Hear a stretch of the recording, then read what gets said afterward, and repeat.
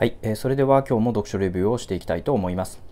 このチャンネルでは、えー、私が1日1冊本を読んで、その内容を動画形式でレビューをするという内容になっています。で普段ご紹介することが多いのは、まあ、ビジネス書や一般教養についての本が多いです。その他には習慣化、継続化についての本や、えー、心理学についての本なんかもご紹介しています。あとは最近、まあ、お金とか資産形成についても勉強を始めましたので、そういった内容もご紹介しています。でもしよろしければ、えチャンネルページに再生リストが作ってありますので、そちらからご覧いただければと思います。でまた読んでほしい本のリクエストがあれば、ぜひコメント欄にコメントをいただければ、あのいつか読む読めるようにしたいと思ってますので、えー、ぜひぜひコメンコメントいただければと思います。また、あのよろしければチャンネル登録およびグッドボタンの方、ぜひよろしくお願いします。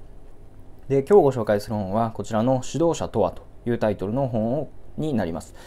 で、えーと、この本は、えーと、アメリカの元大統領である、まあ、リチャード・ニクソンという方、まあ、ニクソン元大統領が、えー、書かれた本で、えーとまあ、ニクソン大元大統領が関係を持っていた、まあ、あの主に政治、まあ、あの全員政治の分野の、えーまあ、指導者について、えーまあ、彼らが持っていた、まあ、その特性であったりとか、まあ、苦労やまあ、栄光挫折といった経験について、えー、ニクソン元大統領の目線から書いているという内容になります。で、まあ、そうした、え、現実具体的な内容を通じて、まあ、あのリーダーシップとはどういうものなのかまた指導者とはどういうものなのかということを、まあ、書いている本になります。で具体的に中に出てくるそのニクソン大統領の、えー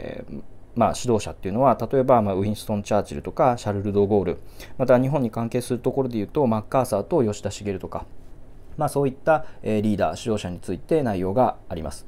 で、えーと、ちょっと先に断っておくんですけれども、まあ、私自身あの政治の分野にあのあまり通じていませんので、えー、詳細についてはちょっとここで、えーと、コメントすることを差し控えたいと思います。で私としては、まあ、指導者っていうのは、まあ、どういった苦悩や、えー、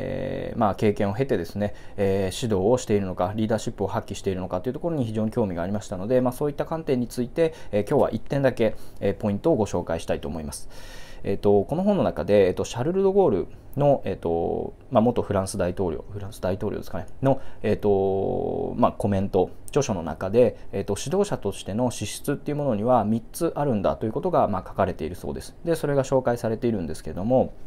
一つは、えーと、正しい進路を選ぶ知性、まあ、進路っていうのは、えーと、針の道ですね、まあ、あの進む道でも、まあ、ニュアンスとしては近いと思うんですけども、まあ、要はどういった意思決定が正しいのかということを、まあ、ちゃんと選べるような知性を持っていること、まあ、これは当然重要ですと。で2つ目にはその正しい進路を選ぶ本能というのも大事ですと。でこれはどういうことかっていうと、まあ、あの理論とか理屈だけではなくてつまり知性だけではなくてやっぱり時代の流れを読んでいく、まあ、本能、まあ、直感による、えーまあ、あの判断というのもやはり指導者には大事ですよと。いうことがまあ書かれてます。そして3点目、これがまあ意外でしたし、この本ならではの、えー、視点だったかなというふうに思うんですけれども、えー、3つ目は国民にその道を行けと命じる権威パワーということですね、まあ、そういったものを持っていると。つまりま知性と本能とパワーを持っているっていうのが、まあ、あの指導者としての資質として重要であるということがま書かれています。でこれはあのもちろん例えば大統領というポジションであれば当然その権威っていうのはあります。ですが、まあ、単純にそういう意味だけではなくてあの権威を持っているように、まあ、演じるというか立ち振る舞う。立ち振る舞うとかまた、えーと、そういった権威が発揮できるように自分の周辺環境を整えていったり、まあ、人間関係を、まあ、作っていく。また、えー、演説等の場で、まあ、きっちり、えー、アウトプットをこう権威づけをしていくと。権威づけの伴ったアウトプットをしていくと、まあ、そういった、えーとまあ、努力がですねあの優れた指導者、まあ、特にその政治においてですね、まあ、優れた指導者によってにはま非常に重要だということがま書かれています。でこの点に関してはあの、まあ、結構意外というかですねやはりまあその大統領になるような非常に優れた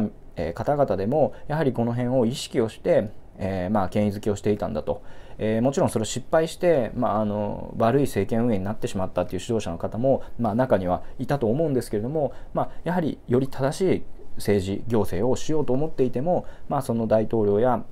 まあ、首相としての権威づけっていうのがないと、まあ、なかなか物事は進まないんだなということを、まあ、改めて、えーまあ、感じさせる、えー、内容でした。